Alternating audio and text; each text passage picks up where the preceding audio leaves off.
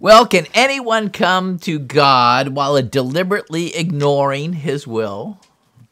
Turn with me to 1 Timothy chapter 4. 1 Timothy chapter 4 and verse 1. I'm going to cite this in the Amplified Bible version. But the Holy Spirit explicitly and unmistakably declares that in the latter times some will turn away from the faith, paying attention instead to deceitful and seductive spirits and doctrines of demons. Misled by the hypocrisy of liars whose consciences are seared as with a branding iron, leaving them incapable of ethical functioning, as the Amplified editors draw. Old news item, February 2014. The UN Committee of the Rights of the Child lambasted the Vatican for protecting pedophile priests. Ah, well, so far, so good. The UN's got that. Yeah. But then the UN committee also asked the Vatican to change its teaching on abortion, as in being for abortion, and homosexuality, meaning, why are you so uptight? By changing its interpretation of just a few biblical verses the Vatican responded by telling the UN committee, colloquially speaking, butt out. Stop violating our religious freedom and the rights of the church to set its own doctrine. Fast forward to news, new news item, December 18th, 2023, from the AP. Pope Francis, you know, head of the Roman Catholic Church, has formally approved allowing priests to bless same sex couples with a new document explaining a radical change in Vatican policy by insisting that people seeking God's love and mercy shouldn't be subjected to, as a precondition, to a quote, an exhaustive moral analysis, close quote, to receive this blessing by the church, by its priests. This document from the Vatican Doctrine uh, Office suggests that church, the church's priests could bless individual homosexuals who are living together under some circumstances if the homosexuals involved didn't confuse such a blessing ritual with the church's sacrament of marriage. You know, they wanted to make sure you know they weren't dressed up, you know, in a suit for the fellow who was uh, the groom and a, uh, a dress for the fellow who was the bride, you know, this sort of thing, a white one. Anyways, speaking through the document, Pope Francis says ultimately, such a blessing offers people a means to increase their trust in God. The request for a blessing thus expresses and nurtures openness to the transcendence, mercy, and closeness to God in a thousand concrete circumstances of life, which is no small thing in the world in which he lived. The Roman pontiff then added, it is a seed of the Holy Spirit that must be nurtured and not hindered. Well, turn with me now to the Gospels. Let's go to Matthew chapter 13 and verse 24. Matthew chapter 13 and verse 24, New Living Translation here. Here is another story Jesus told. The kingdom of heaven is like a farmer who planted good seed in his field. But that night, as the workers slept, his enemy came and planted weed seeds among the wheat, and then slipped away. When the crop began to grow and produce grain, the weed seeds also sprouted and grew. The farmer's workers went to him and said, Sir, the field where you planted that good seed is full of weeds. Where did they come from? Verse 28. An enemy has done this, the farmer exclaimed. Should we pull out the weeds? they asked. No, he replied. You'll uproot the wheat if you do. Let both grow together until the harvest. Then I will tell the harvesters to sort out the weeds, tie them into bundles, and burn them, and put the wheat in the barn. Matthew chapter 13 and verse 63, Amplified Bible here. Then Jesus left the crowds and went into the house. And his disciples came to him, saying, Explain clearly to us the parable of the weeds in the field. And he answered, The one who sows the good seed is the Son of Man, referring to himself. And the field is the world. And as for the good seed, these are the sons of the kingdom, the kingdom of God. And the weeds are the sons of the evil one. And the enemy who sowed them is a devil. And the harvest is the end of the age. And the reapers are angels. So just as the weeds are gathered up and burned in the fire, so will it be at the end of the age. The Son of Man will send out his angels, and they will gather out of his kingdom all things that offend, the scandalon, those things by which people are deceived, tricked, and led into sin, as the Amplified draws out. And all who practice evil, Coulter says lawlessness, anomia, which means leading others into sin. So the Son of Man will send out his angels, and they will gather out of his kingdom all things that offend and all who practice evil, and will throw them into the furnace of fire. And in that place there will be weeping.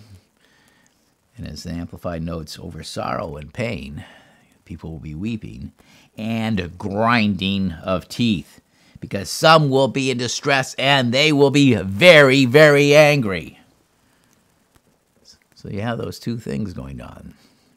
When they, you know, before the throne of the fire, there will be weeping and grinding of teeth. Verse 43, and Jesus concluded in saying, Then the righteous, those who seek the will of God, will shine forth, radiating the new life, like the sun in the kingdom of their Father. He who has ears to hear, let him hear and heed my words, Jesus said.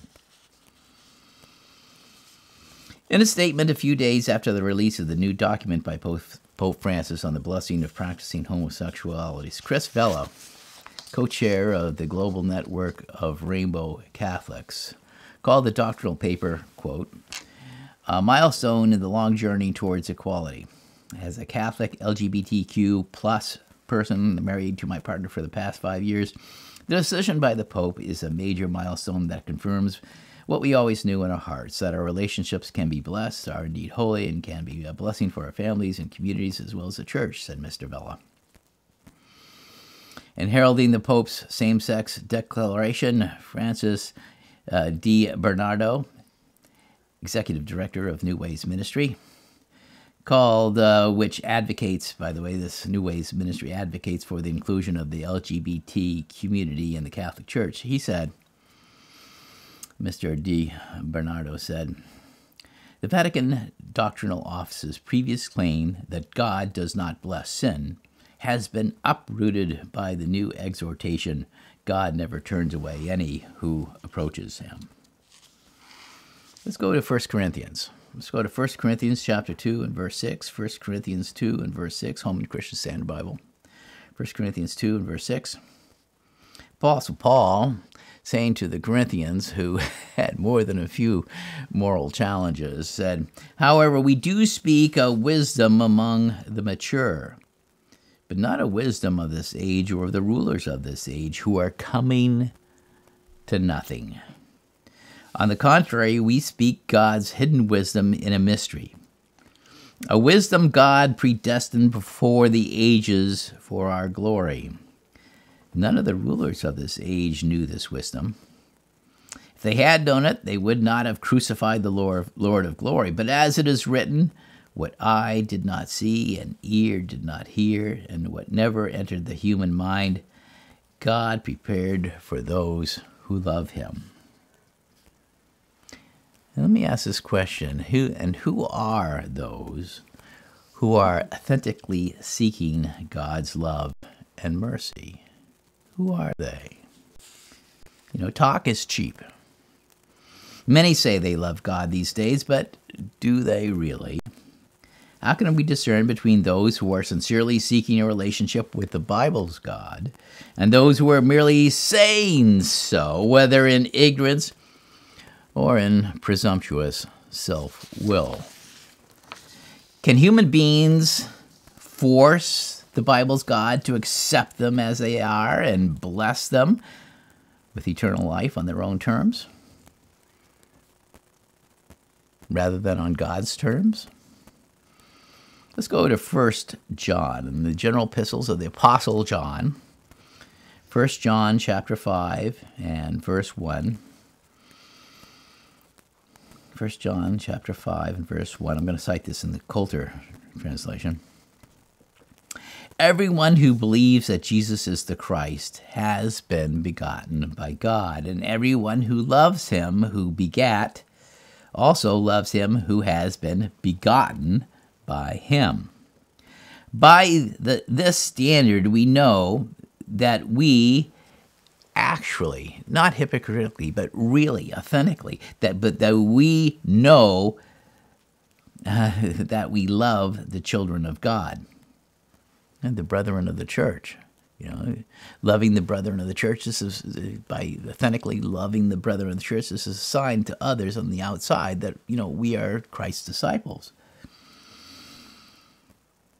By this standard, we know that we love the children of God when we love God and keep His commandments. For this is the love of God, that we keep His commandments, and His commandments are not burdensome.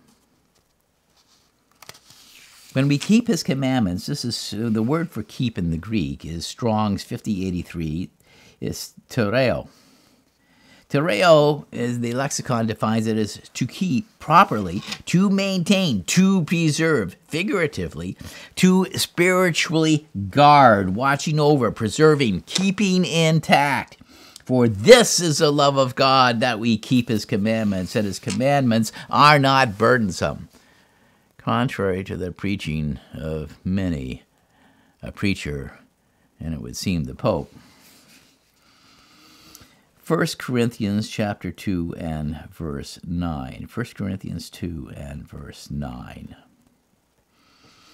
But as is written, what eye did not see and ear did not hear, and what never entered into the human mind, God prepared for those who love him. Now, God has revealed these things to us by the Spirit. For the Spirit searches everything, even the depths of God. For who among men knows the thoughts of a man except the spirit of man that is in him? That's what separates us from the animals, the spirit of man that's in us. That's how we know, you know, we, we know, we speak, we, we have all these incredible things that human beings, natural, carnal human beings, that of what we can do. But who can know the thoughts of a man except the spirit of man that is in him? In the same way, no one knows the thoughts of God except the Spirit of God. And it's understood that is in that person. Christ, you know, Christ said, if, if, if you don't have Christ, you know, if you don't have Christ's Spirit, you're not His. Let's go to Acts 5 and verse 29. How do we receive the Holy Spirit of God? How can we have the indwelling presence of the Holy Spirit within us and to be authentic Christians, real Christians? What is the characteristic? What, what, what, what must we exhibit that God will take notice of us and He'll put His Spirit within us? Acts 5 and verse 29. Now, on this occasion, this was a time when the church was first getting going after the first Pentecost.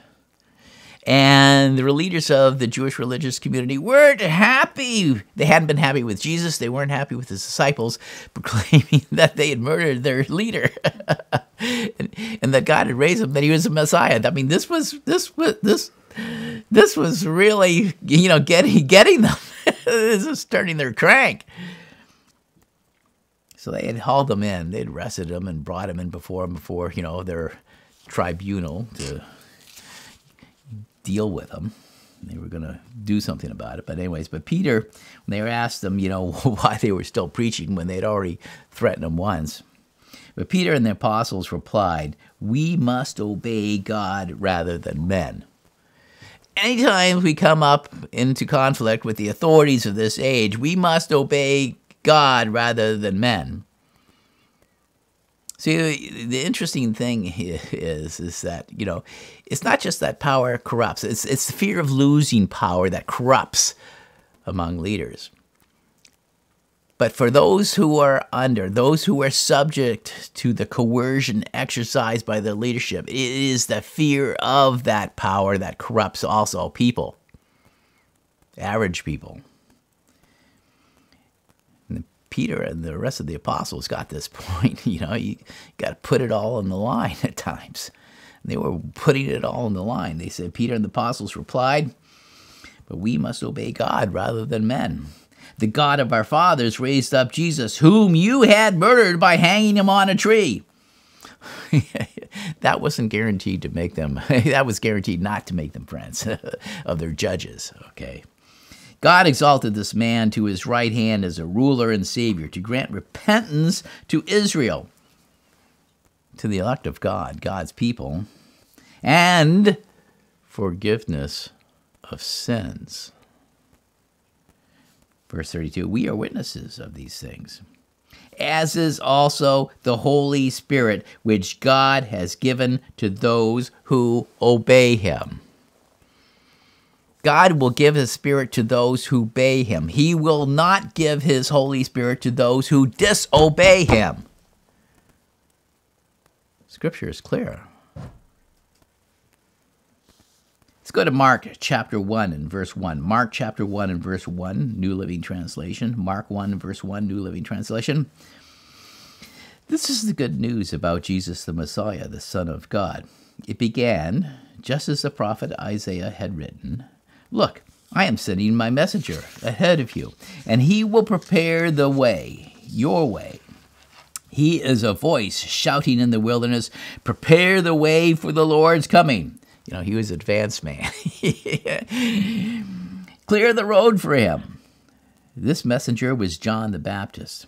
He was in the wilderness and preached that people should be baptized to show they had repented of their sins and turned to God to be forgiven. To repent of your sins means you acknowledge them and you are going to turn around and walk the other way. You are going to do the opposite of what was leading you into sin. Sin is a transgression of God's law, 1 John 3 4. So you're going to, instead of breaking God's law, you're going to keep God's law. You're going to preserve it. You're going to maintain it. You're going to respect it. You're going to obey it that people should be baptized and show that they had repented of their sins and returned to God. Verse 14, later on, after, this is Mark 1, after John was arrested, Jesus went into Galilee where he preached God's good news. And he said, What? He said, The time promised by God has come at last. That the Messiah should arrive, this incredible event. And he announced, The kingdom of God is near. Repent of your sins and believe the good news. Jesus' message was you have to repent of your sins. You can't just keep going and doing them. You have to turn away from them. And you have to be with it you can't make excuses for not turning away. Do what you need to do. Go to Mark 9 verse 42. Jesus later on said in the gospel, Mark 9, verse 42, New Living Translation. But if you cause one of these little ones who trust in me to fall into sin, you know, if you're a leadership position and you're causing one of these little ones who believe in me to fall into sin, because you're not teaching them what is right from wrong, it would be better for you to be thrown into the sea with a large millstone hung around your neck. Have you ever seen a large millstone? I have many, many times. To have one tied around your neck, you, you're going right down to the bottom. Davy Jones Locker. Verse 43. Then he, Jesus makes this point. He's pretty radical here. Jesus, you know, the, the, Son of Man is getting pretty radical in this statement here in Mark 9 43. If your hand causes you to sin, cut it off. It's, it's better to uh, enter eternal life with only one hand than to go into the unquenchable fires uh, of Gehenna, hell. But, you know, than with two hands.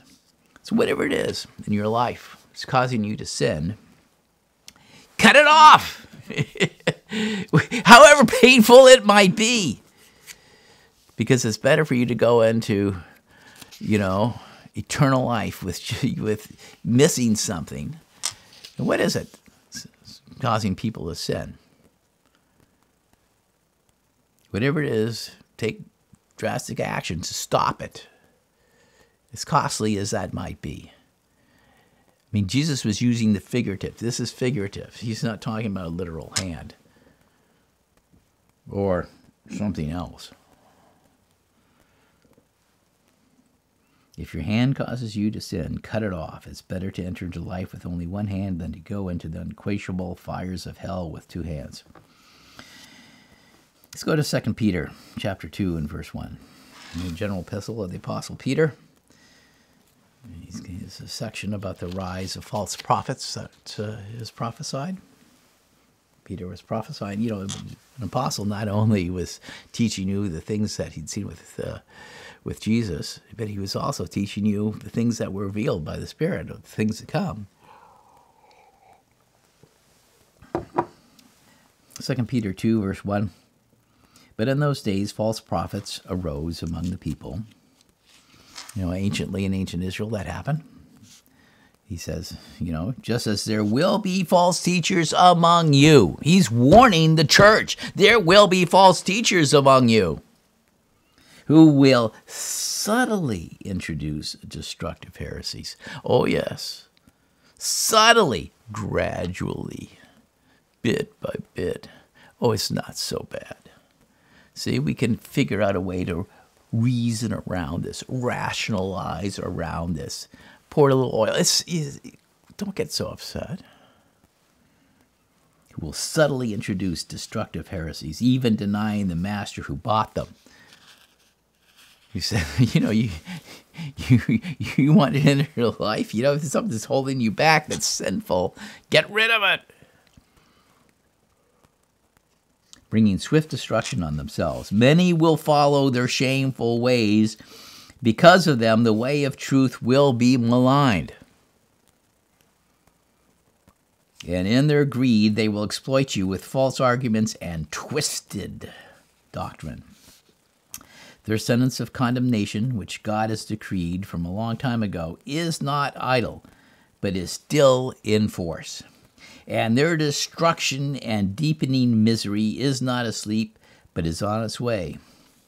For if God did not even spare angels that sinned, but threw them into hell and sent them to the pits of gloom to be kept there for judgment, if he did not spare the ancient world, but protected Noah, a preacher of righteousness with seven others, when he brought the judgment of a flood upon the world of the ungodly.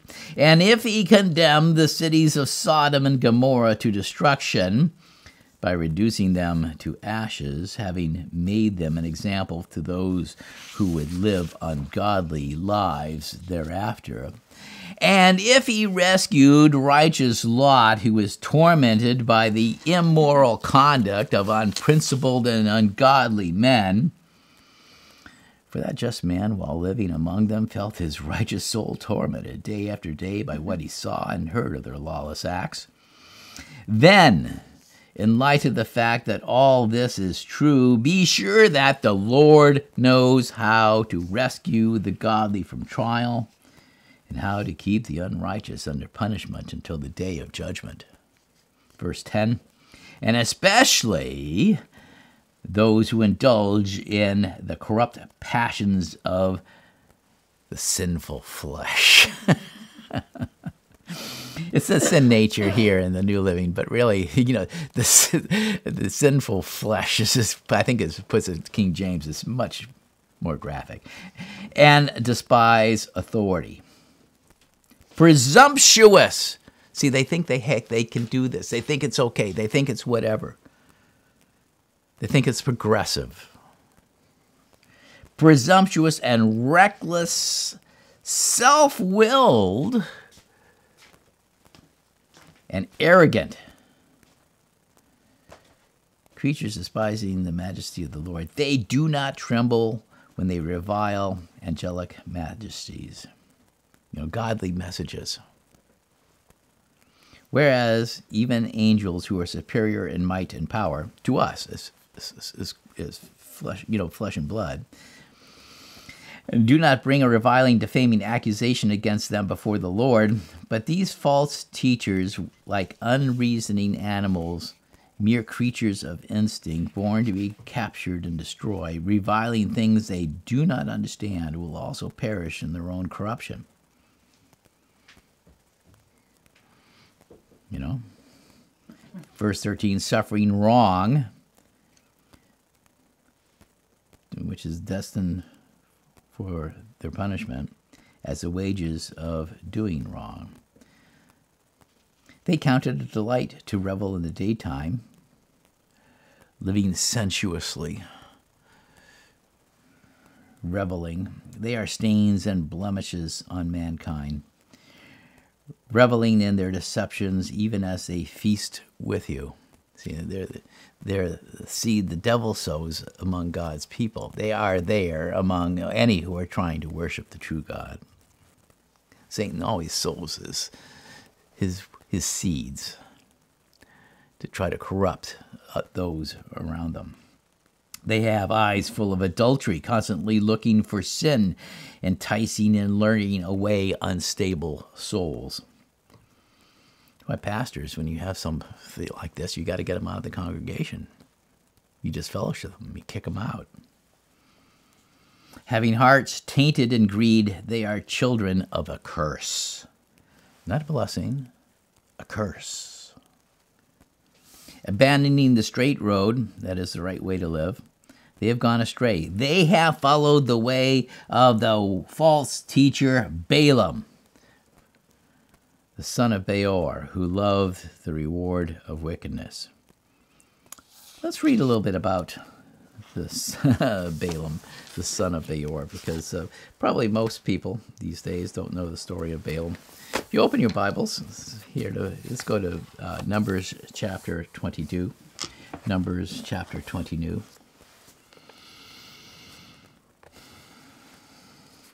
You know, when Numbers 22 opens, Israel at this point in time, children of Israel, God's people, under the leadership of Moses, were beginning to occupy the promised land. They were on what we call now the East Bank, the area sort of generally where Jordan is and the Golan Heights and this sort of thing. That's in the present geography names that we're familiar with. And they were fulfilling the promise to occupying this land just as God had promised to Abraham that he would give it to his seed. See, God controls. he, he has the title deed to this world, and he will allow whoever he wants to live on it. You know, we're we're we're tenants. we're, we're we're we're leasees. So he, they were just beginning to occupy the promised land. And the chosen people of Israel had destroyed Sihon, the king of the Amorites, and Og, the king of Bashan, and, they had occupied their lands. As I said, this is now, we would know it more, be familiar with the land, the east bank of the Jordan River. We have here in uh, verse 12, you have this whole thing. Uh, it goes through here in chapter 22 that this this fellow, this Balak, um, who was the uh, king of Moab, he and all of his uh, council, his elders, and the Midianites, they were all scared of what Israel was doing. And so they decided, well, you know, we've got to get some spiritual power on our side. And you have verse 5 Therefore, Balak sent messengers to Balaam the son of Beor, to Pethor, by the river of the land of the children of his people to call him, saying, Behold, the people has come out from Egypt. Behold, they cover the face of the earth and are dwelling across from me. Therefore I pray you, come now and curse this people for me. For they are too mighty for me. Perhaps I shall prevail, so that we may strike them, and so that I may drive them out of the land. For I know that he whom you bless is blessed, and he whom you curse is cursed. This fellow Balaam had a pretty good reputation. yeah, he, he, had a pretty good reputation at that point in time. And by the way, the Balaam's name has been found archaeologically. you know, the interesting the thing is, okay, so he's, this is not fiction. And the elders of Moab and the elders of Midian set out with the rewards of divination in their hands. Okay, divination, to ask of the gods favor to curse the Israelites. So they were going to pay for this, okay? And they came to Balaam and spoke the words of Balak to him and said to him, and Balaam said, Stay here tonight, and I will bring you the word again tomorrow, as the Lord will speak to me. And the leaders of Moab stayed with Balaam. He made them a party, of course. And God came to Balaam and said, What men are these with you? And Balaam said to God, Balak, the son of Zippor, king of Moab, has sent to me, saying, Behold, a people has come out of Egypt, which covers the face of the earth. Come now and curse them for me. Perhaps I shall be able to overcome them and drive them out. Verse 12. Okay, what's God's position on this? What does he say to Balaam? Verse 12. And God said to Balaam, You shall not go with them you shall not curse the people, for they are blessed.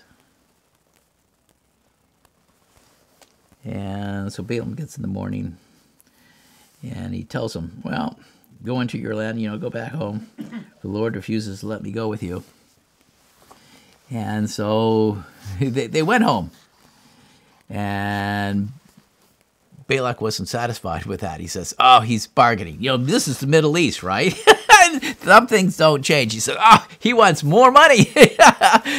We've uh, we're just we just started the negotiations. Okay, let's you know, this is a long drawn out. This is how they do things in the Middle East. Anciently as well as with us. And Balak sent leaders again, more numerous and more honorable than those. And they came to Balaam and said to him, Thus says Balak, the son of Zippor, Please let nothing hinder you from coming to us. For I will rise you up to very great honor, and I will do whatever you say to me. Please come and curse this people for me.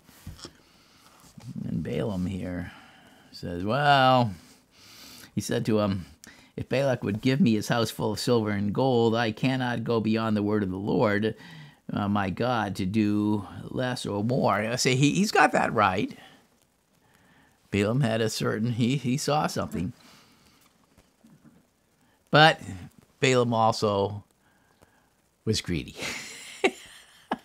he was covetous. He wanted he wanted all this silver and gold. He wanted it. He really did.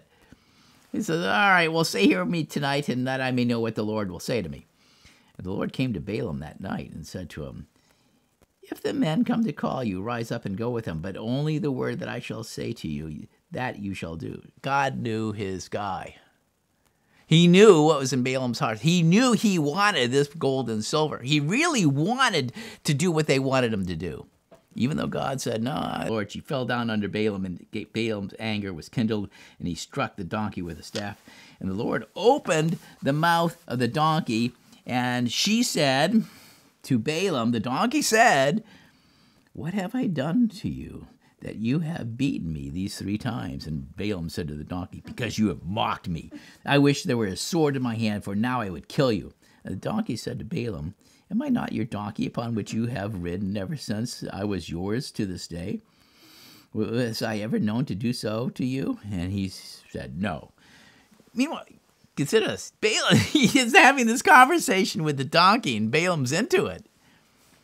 Then the Lord opened the eyes of Balaam, and he saw the angel of the Lord standing in the way, and his sword drawn in his hand. And he bowed down and fell on his face. And the angel of the Lord said to him, Why have you beaten your donkey these three times? Behold, I came out to withstand you, because your way is perverse before me. And the donkey saw me and turned aside from me these three times. Unless she had turned from me, surely now I would have killed you and saved her alive. And Balaam said to the angel of the Lord, I have sinned, for I did not know that you stood in the way against me. He sinned because he wasn't willing to do what God had told him the first time. I'm blessing these people. You can't curse. I'm not going to curse them. But Balaam wanted the money. He wanted to finagle. He wanted to lobby. He wanted to pressure. He wanted to manipulate. He wanted to do whatever oily, slippery thing he could to get his way, to get the money. Now, if it pleases you, I will go back. And the angel of the Lord said to Balaam, Go with the men, but only the word that I speak to you, and that you shall speak. So he went with them. You can read the, you know, some more of this.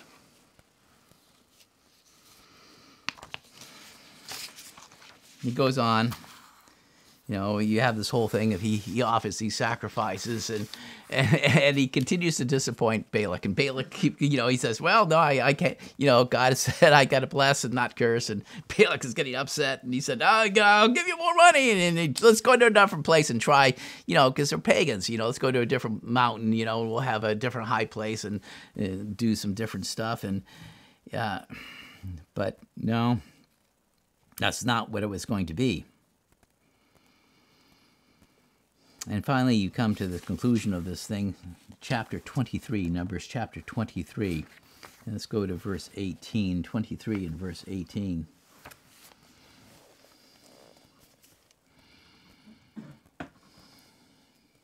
Well, verse 16, And the Lord met Balaam and put a word in his mouth and said, Go again to Balak and say this. And when he came to him, behold, he stood by his burnt offering, and the leaders of Moab were with him. And Balak said to him, What has the Lord spoken?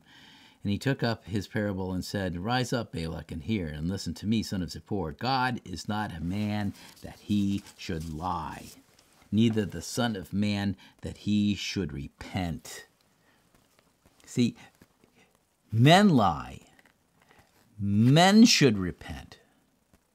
God is not a man. He does not lie. He does not need to repent. When he says something, it is right. God is not a man that he should lie, neither the Son of Man that he should repent. Has he said, and shall he not do it? Or has he spoken, and shall he not fulfill it? Behold, I received the word to bless, and he has blessed, and I cannot reverse it.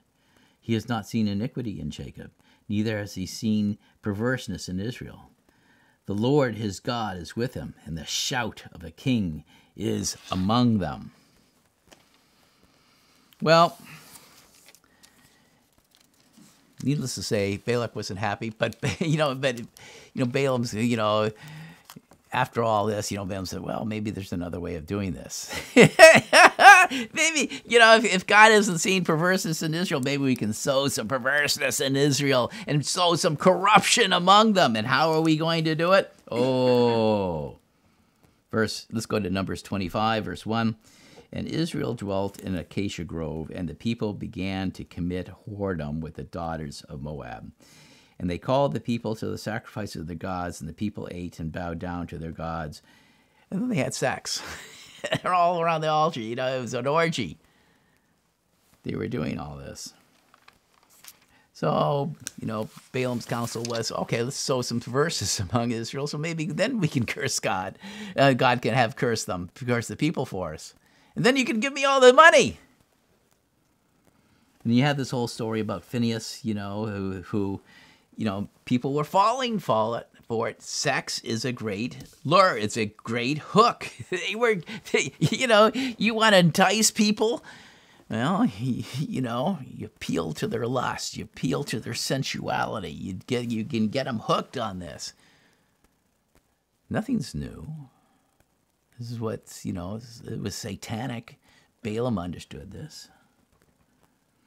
But some of the leaders of Israel weren't going to go that way. And you have the whole story here, Numbers 25, that you had Phineas, the son of Eleazar, the son of Aaron the priest, you know, saw one of the princes of Israel bringing in one of the Midianite princes. And he was having sex and he took her in his tent and was having sex with her and all this sort of stuff. And Phineas went in there and, well, You know, Jesus said, "Cut off your hand if it's offends you." He didn't. He he plugged him right to the ground with his javelin. You know, he he killed him right then and there. He executed them.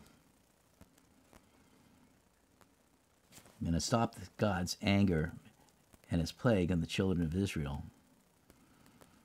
You know, God had to clean out, and he did. There are all sorts of people who died because of that, because of what Balaam said. There were thousands and thousands of Israelites who, who died, of God's people, who were snared, who were, you know, tricked. Sex is a powerful thing. You see here in Numbers 25 God said this to Moses, first uh, uh, chapter 25 of Numbers and verse 16. And the Lord spoke to Moses, saying, Attack the Midianites who were there with the Moabites, who were, you know, who, who part and parcel, who were putting up their daughters, you know, as you know, to, you know, to, to allure and entice and seduce the Israelite men. Attack the Midianites and strike them, for they trouble you with their lies, which they have deceived you in the matter of Peor, and in the matter of Cosbi, the daughter of the ruler of Midian, your sister, who was stricken in the day of the plague because of Peor. So they were going to go and deal with the source of this corruption so, what do they do? If you turn over a little bit farther, we see the end result of this. Because God has the people fight back against the corruption and the enticement. And he goes here, let's go to verse 31. In chapter 31, so they're going to go out to war against them. The Israelites are going to go attack the Midianites before because of what they're doing, trying to subvert them before God. And so God says, "Oh, well, you know, let's let's deal with it." And uh, chapter 31 of Numbers and verse 7, and they, the Israelites, warred against Midianites as the Lord commanded Moses, and they killed all the males. And they killed the kings of Midian, besides the rest of the slain, Evi and Rekem and Zur and Hur and Reba, five kings of Midian. They also killed Balaam, the son of Beor, with the sword, because he was there as their counselor and advisor of trying to teach them how to pervert and seduce the children of Israel from their relationship with God by making them corrupt before him in their sight by sexual immorality. Let's go to Revelation chapter 2 and verse 12. Revelation 2 and verse 12, New Living Translation. Revelation 2 and verse 12. Message to the church of God in Pergamum. Write this letter to the angel of the church in Pergamum.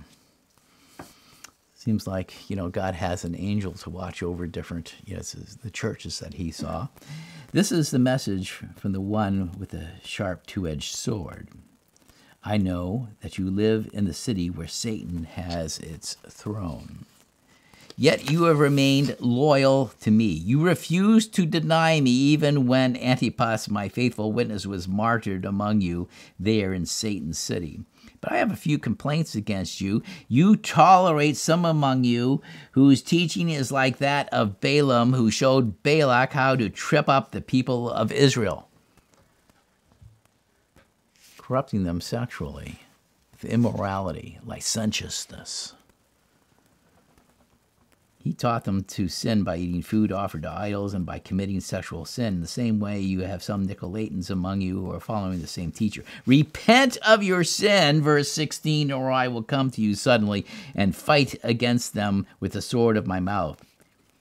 Verse 17 Anyone who has ears to hear must listen to the Spirit and understand what he's saying to the churches. Saying to everyone who has been victorious, I will give some of the manna that has been hidden away in heaven, and I will give to each one a white stone, and on the stone will be engraved the new name that no one understands except the one who receives it. Let's go to Second Thessalonians, Second Thessalonians 2 and verse 9. Be with the Holman Christian Standard Bible here for a moment. Second Thessalonians 2 and verse 9.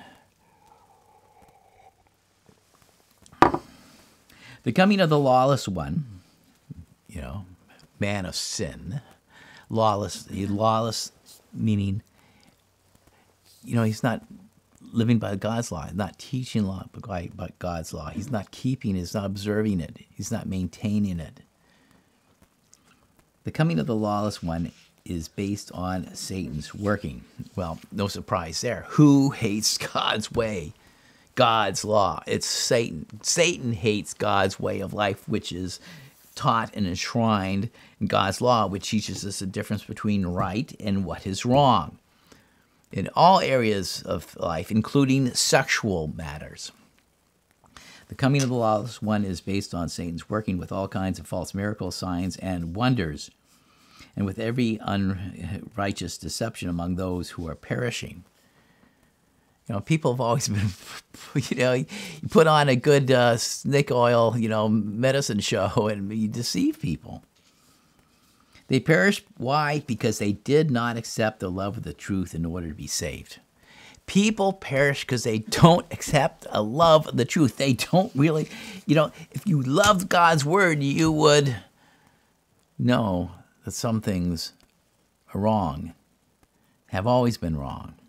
Certainly true with, with sexual behavior. God is a holy God. They perished because they did not accept the love of the truth in order to be saved. 2 Thessalonians 2:11. For this reason God sends them a strong delusion so that they will believe what is false, so that all will be condemned, those who do, did not believe the truth, but enjoyed unrighteousness. See, Balaam didn't believe the truth by following and acting on what the truth was. He shouldn't have gone out of his place to begin with the first time. He shouldn't have gotten on that donkey. He knew what God's teaching was.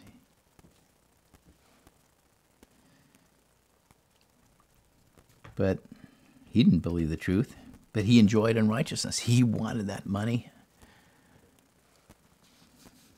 eventually cost his life. Of course, they could, Israelites did catch up to him. Titus, Titus 1 and verse 16, letter here to his fellow servant, fellow minister.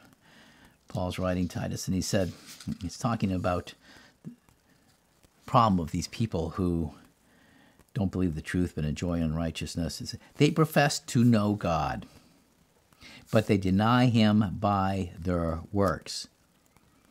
This verse is translated in the New Living. They deny him by the way they live. They deny God by the way they live. See, they profess him. They profess to know God. They profess to seek after God. They profess to all these things, but they deny him by the way they live.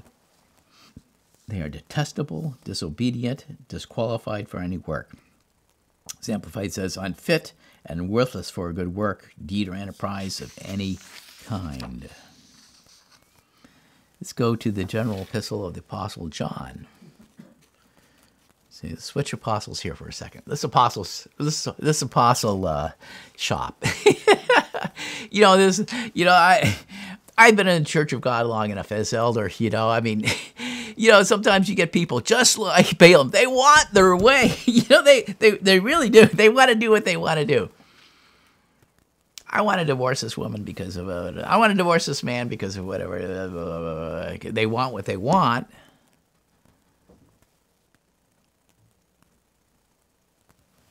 So they'll minister shop.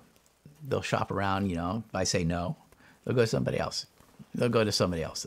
So finally, they find somebody who says, "Yes, that's just okay." Then they feel good. 1 John chapter 2 and verse 4, English Standard Version. Whoever says, I know him, but does not keep his commandments is a liar, and the truth is not in him. Is that clear? Whoever says, I know him, but does not keep his commandments is a liar, and the truth is not in him. 1 Timothy chapter 3 and verse 14, Amplified Bible Version.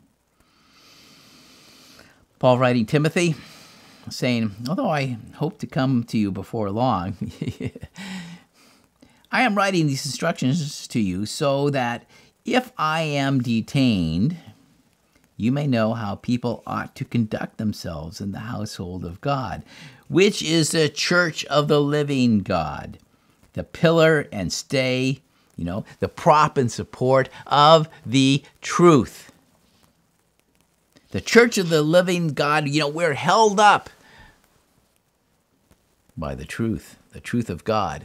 God's word is the truth, John 17, 17. How we ought to conduct ourselves.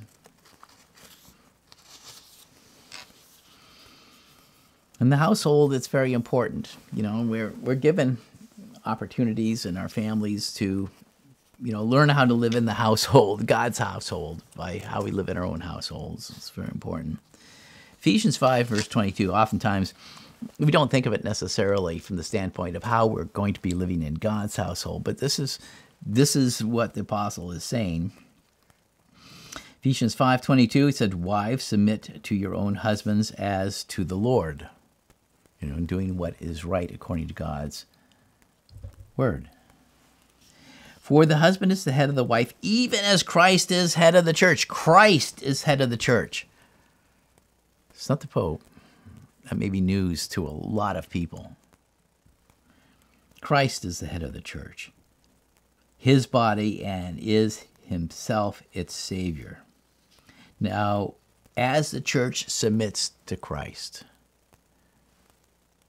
so wives should submit themselves in everything to her husbands. See, the church submits itself to Christ, to Christ's instructions, to Christ's command. And if you believe what the what the New Covenant Scriptures says in the Gospels, Jesus said, you know, before Abraham was, I am, and he has the whole thing of talking about he was the God, he was the Lord of the old covenant he stood on top of Mount Sinai and he gave them the Ten Commandments and then he gave them in the rest of his law. He told them what he expected of them sexually, what was right and what was wrong. And he repeats it in the you know in the epistles of Paul. What kind of sexual behavior was right? Homosexuality was a big deal in the Greco-Roman Empire. I mean, they practiced a lot of it, but it wasn't acceptable in the church. Very clear. Apostles didn't accept it. The church submits itself to Christ. Christ does not submit himself to the church. Let's get it straight. We, as Christians, as individuals, if we must repent and come to Christ, we submit ourselves to Christ. He doesn't submit himself to us. The church is to be a light to the world not to be, and to transform the world eventually under the rule of Christ and the kingdom of God, not to be transformed by the word world into adopting its ideologies. What's happening in the Catholic Church now is it's they're simply, you know, they're conforming themselves and adopting to the what the political correct the, the time that we have right now. That's what Francis is doing. There's no big mystery. Titus 1 and, and verse 1. From Paul, a servant of God and an apostle of Jesus Christ, I was sent to help the faith of God's chosen people, of the elect. You know, Paul was in the service. He was to lead people, to stimulate, to promote their faith, and to help them know the truth that shows people how to serve God. That faith and that knowledge comes from or leads to the hope, the confidence or certainty of life forever, which God, who never lies, see, you know, right from that time, you know, the Balaam, God is not a man that he should lie, the Son of Man that he should repent. That which God, who never lies, promised to us before time began at the right time, God let the world know about that life through preaching. He entrusted me, Paul said, with that work by the command of God, our Savior. Jesus Christ is God. That'll blow minds. Verse 7 For an overseer, as God's administrator, must be blameless, not arrogant, not hot tempered, not addicted to wine, not a bully, not greedy for money, but hospitable, loving that which is good, sensible, righteous, holy, self controlled, holding to the faithful message as taught. So he will both be able to encourage with sound, wholesome teaching and to refute those who contradict it.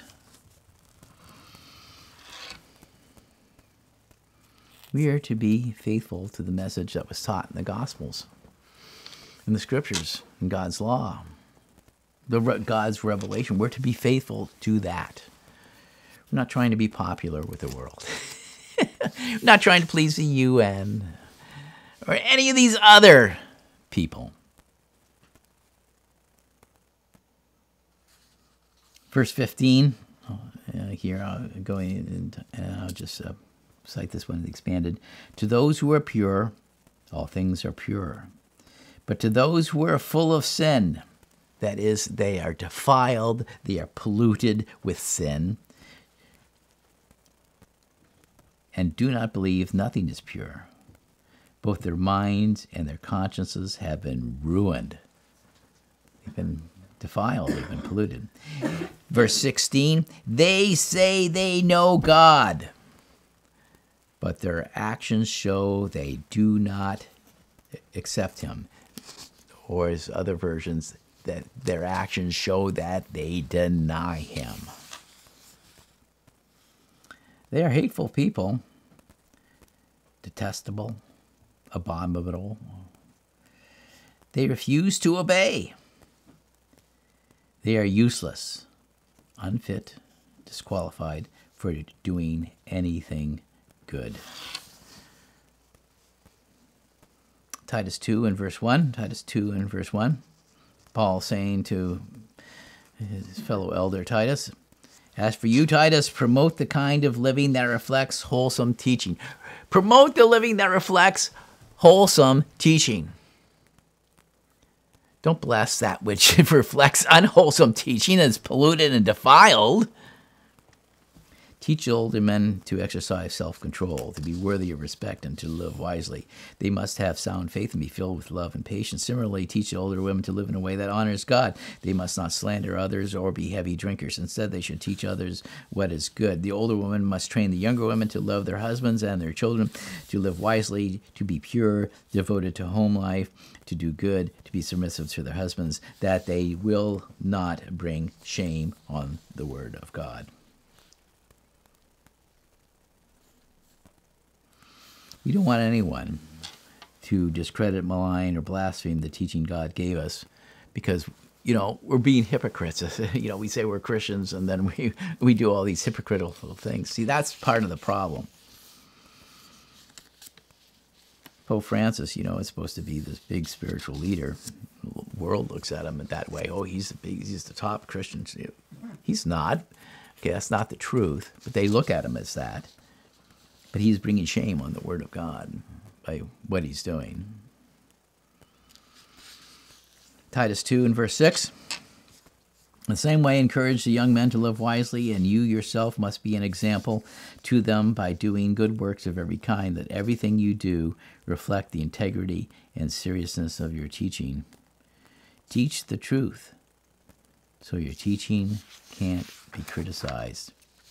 Then those who oppose us will be ashamed and have nothing bad to say about us. You know, slaves must always obey their masters and do their best to please them. They must not talk back or steal, or, but must show themselves to be entirely trustworthy and good. Then they will make the teaching about God, our Savior, attractive in every way. By doing this example, even, even even if you are, you know, a slave, and in the Roman Empire, that's how the Roman Empire there were tons of slaves the church was composed had a lot of slaves. Because of course it, uh, it, told the truth of where ultimately their life but they even in slavery they could you know shine the light of the gospel by, by setting a right example. Titus 2 verse 11 That is the way we should live because God's grace that can save everyone has come. It's been revealed. Verse 12, it teaches God's grace, it teaches us, it disciplines us, it trains us to turn away from, to reject, to deny ungodly living.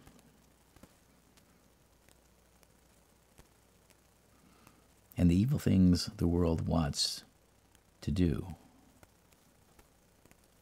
Instead, that grace teaches us to live in the present age in a wise, self controlled, and right way, in a way that shows we serve God. We should live like that while we wait for our great hope in the coming of the glory, the glorious manifestation of our great God and Savior Jesus Christ. He gave himself for us that we might that he might pay the price to free us, to redeem us, to ransom us from all evil.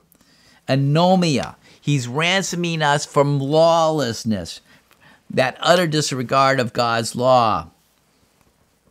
He came, He suffered, He died to free us from sin, that we might be pure and holy in His sight, not that we should live in sin.